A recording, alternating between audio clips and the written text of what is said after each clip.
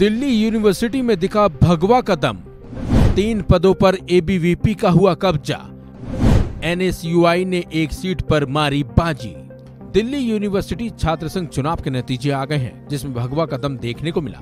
यानी कि तीन पदों, अध्यक्ष, सचिव और संयुक्त सचिव सीट पर एबीवीपी ने कब्जा कर लिया, जबकि उपाध्यक्ष पद पर एनएसयूआई ने बाजी मारी है। आपको बता दें, अध्यक्ष पद पर एबीवीपी के तुषार ढेड़ा ने 3,115 वोटों से जीत हासिल की है। वहीं उपाध्यक्ष पद पर एनएसयूआई के अभिधैया एक वोटों से जीते। जिसके बाद से ही यूनिवर्सिटी कैंपस में जश्न का माहौल है।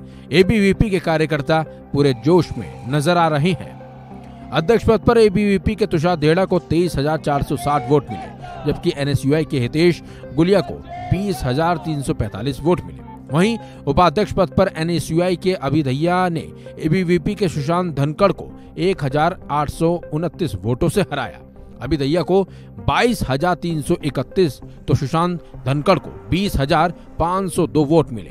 सचिव पद पर एबीवीपी की अर्पिता को 24,534 वोट तो वहीं एनएसयूआई की यशणा शर्मा को ग्यारह वोट मिले। वहीं सह सचिव पद पर एबीवीपी के सचिन बैसला को 24,955 वोट और एनएसयूआई के शुभम कुमार को 14,960 वोट मिले हैं। गृह मंत्री अमित शाह ने ट्वीट कर दिल्ली यूनिवर्सिटी छात्र संघ चुनाव में एबीवीपी को मिली प्रचंड जीत पर परिषद के सभी कार्यकर्ताओं को हार्दिक बधाई दी। साथ ही लिखा ये जीत राष्ट्र हित को सर्वप्रथम मानने वाली विचारधारा में युवा पीढ़ी के विश्वास को दर्शाती है। मुझे पूर्ण विश्वास है कि परिषद के कार्यकर्ता युवाओं में स्वामी विवेकानंद जी के आदर्शों और राष्ट्रवाद की भावना को जागृत रखने के लिए निरंतर संकल्प भाव से कार्य करते रहेंगे।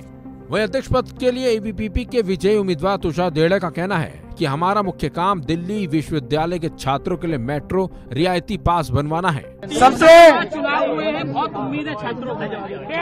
सबसे अहम काम इसमें यह रहेगा कि हम मेट्रो कंसेशन पास जो दिल्ली विश्वविद्यालय के अंदर छात्र पढ़ने आता है उनके लिए मेट्रो कंसेशन पास दिलाएँगे। और तीन साल बाद जो चुनाव हुआ है उसमें आपने देख लिया कि विद्यार्थी परिषद की परचम जीत हुई है।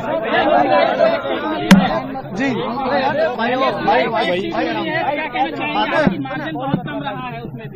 नहीं हम उस सीट पे शुरू से आगे चल रहे थे। अभी मेरे भाई सुशांत ने बताया हो सकता था हमसे कोई गलती हुई हो। आगे ऐसी गलती नहीं होगी और हम ध्यान रखेंगे। दूसरे चुनाव पर संयुक्त सचिव सीट पर एबीवीपी के विजयी उम्मीदवार सचिन बैसला का बयान भी सामने आया है। उन्होंने कहा हम छात्रों की सभी उम्मीदें पूरी करेंगे। हम छात्रों के बीच काम कर रहे थे और यही वजह है कि आज हम जीते हैं। जितनी भी उम्मीदें वो पूरी होंगी और शायद छात्रों की उम्मीदें हमसे पूरी हो रही थी इसलिए हमें प्रचंड जीत मिली है। हम लोग वो नहीं है कि चुनाव आए तो आज चुनाव आते छात्रों के बीच चले जाएँगे। हम निरंतर छात्रों के बीच कार्य कर रहे थे।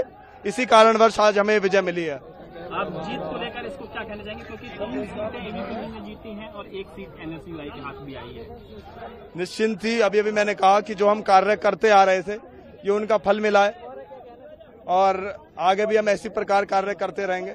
एक सीट की हमें हानि ज़रूर हुई है पर आने वाले समय में हम उस चीज़ को भी ठीक कर देंगे। और निश्चिंत ही अगली बार विद्यार्थी परिषद चार ज़ीरो से विजय फतह करेगा। वही दूसरे चुनाव पर कांग्रेस सांसद दीपेंद्र हुड्डा का क्या कुछ कहना है? आइए आपको सुनाते हैं। लेकिन उसके साथ ही अभी दैया ने क्या कुछ कहा उससे पहले वो भी बता देते हैं। मैंने और मेरे साथियों ने जो मेहनत किया है तो आशीर्वाद रहा सबका बहुत ज़्यादा रहा।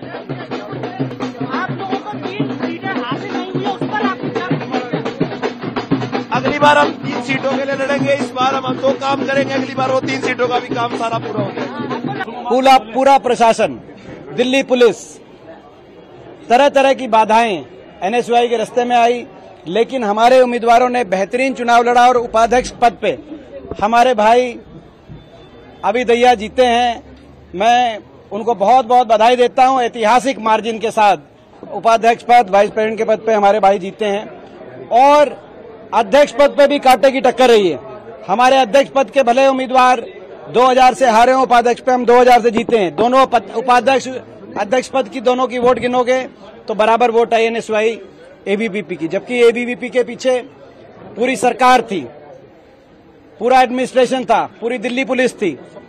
मगर उसके बावजूद सब बाधाओं को भेजते हुए इतनी शानदार, बेहतरीन जीत मैं भाई अभी दैया को एक बेसन के लड्डू खिलाकर, हरियाणा के बेसन के लड्डू खिलाकर बहुत बहुत मैं इस जीत की मुबारकबाद देता आपको बता दें एबीवीपी ने 2019 में दिल्ली विश्वविद्यालय चुनाव में चार पदों में से तीन पर ही जीत दर्ज की थी और इस बार भी तीन सीटों पर एबीवीपी ने जीत हासिल की है।